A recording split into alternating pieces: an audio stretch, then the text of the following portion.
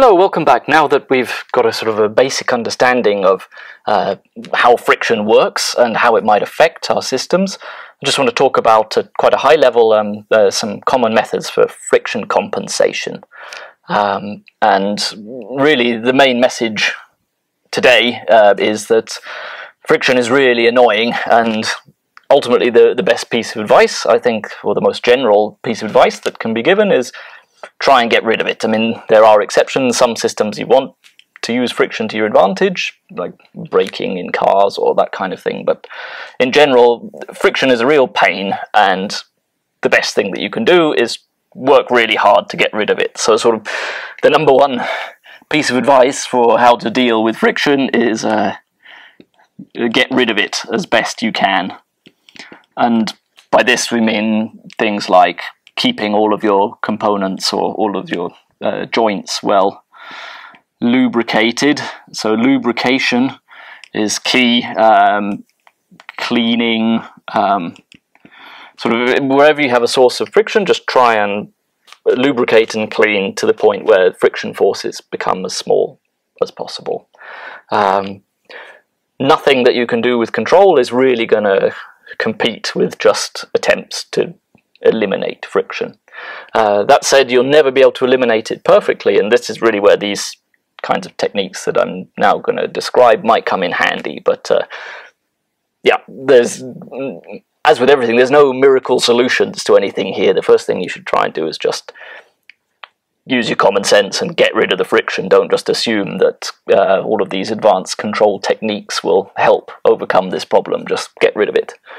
Um, so to talk about um, methods for friction compensation, I just want to return to our simple picture here where we have some mass that's experiencing some velocity dependent friction. Um, and when we introduced this before, we talked about these common models of friction in which the friction force was dependent on the velocity. And we sort of said that curves that look something like this, or maybe they go off, um, something like this, are, are, quite common. So we have this effect where for very low velocities, uh, you have this sort of static friction, and eventually when you finally get things moving, um, and you enter this dynamic regime, your friction forces drop off again, and this was the Stribeck effect. And then eventually, as the velocity increases, maybe your friction forces start to come back up again. Um, and we're just going to give sort of very high level advice for how to deal with this uh, nonlinearity. And it's going to be sort of split into two cases. Um, so, really, when dealing with friction, this sort of regime where you're operating things at low velocities or velocities that are changing sign a lot, this is the really difficult, uh, messy situation to arrive in. This is where you have to really confront this static friction.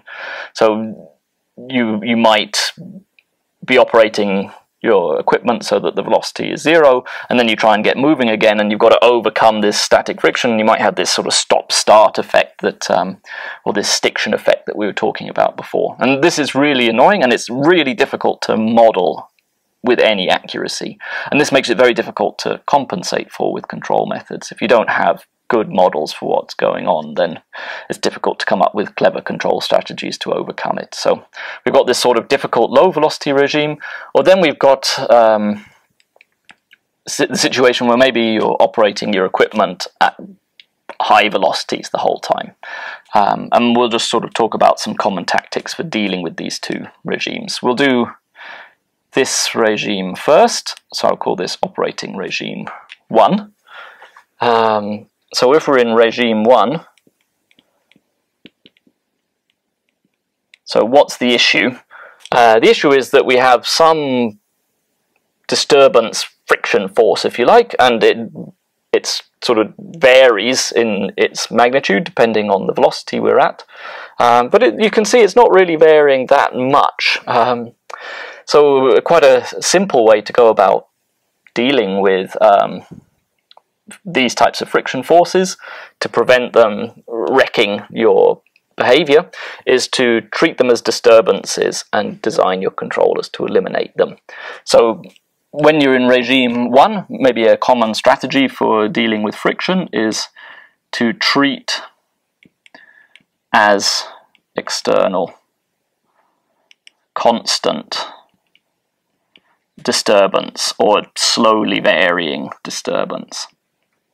Constant slash slowly varying.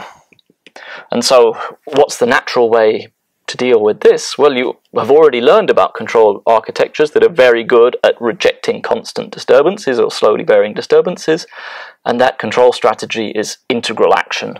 So, a very good way to start to deal with friction uncertainty in this regime um, is to use integral action. And we've got a few extra details in the lecture notes um, for maybe slight modifications in how you would implement your integral action. Um, but the, this is the general idea, is in this regime we have some friction disturbance, it's not changing that much, and integral action is a good control technique for eliminating constant um, unknown disturbances. Uh, so that's a good thing that you can do um, to deal with friction when you're operating in regime 1. Another thing that you can try to do is you can try and build up friction models. As we said, it's very difficult to model friction in this regime. I mean, it's still hard. It's, it's, hard to model friction in general, but um, I would say uh, maybe it's a bit easier in this regime here. And if that's the case, then we can just try and cancel it out. So we can put in a friction model. Uh, so we have some, we, we measure our velocity, we have some model for the friction force that will be being applied.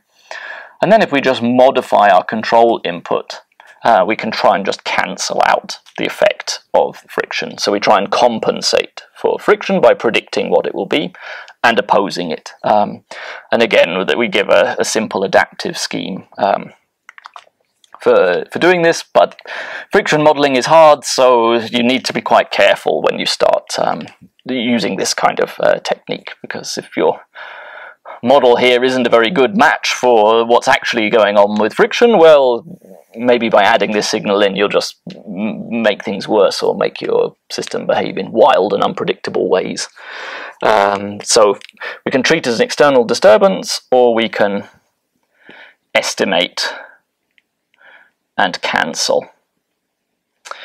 So that's uh, operating regime 1. How about this uh, slightly annoying region uh, where you have these high stiction forces?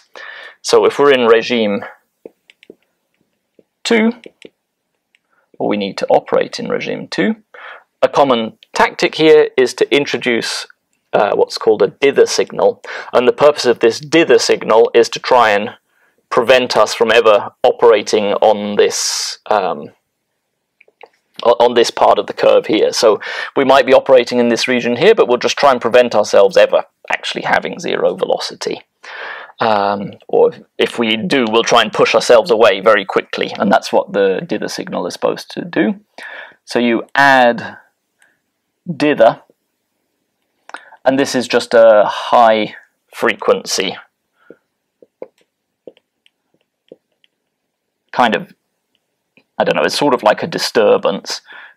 We, you you add it yourself, so it's not something that you don't know, it's something that you're deliberately applying, and the purpose of this disturbance is to try and prevent you from ever having zero velocity for very long, so tr try and prevent these stiction forces from kicking in. So we add in a disturbance here, call it, I'll call it D, and this is our dither signal. What's some common choices for a dither signal? Um, well, maybe the simplest thing that you could apply for your dither signal is just some kind of triangle wave or square wave, high frequency, and the amplitude should be big enough to try and just knock your system so that it never settles down to having zero velocity. And so you're sort of just shaking yourself around here to prevent this stiction effect. Um, this is not the only choice. Uh, there's an innovation developed here in Lund, something called the Knocker, is developed, developed by uh, Tore Hägglund, who you may have been lectured by before. And um, in this, he was proposing um, to add dither signals that also try and take into account some reference signal information. So th this is very naive. You're just sort of shaking back and forth. Um, you're not taking any into account how you actually want to operate your system.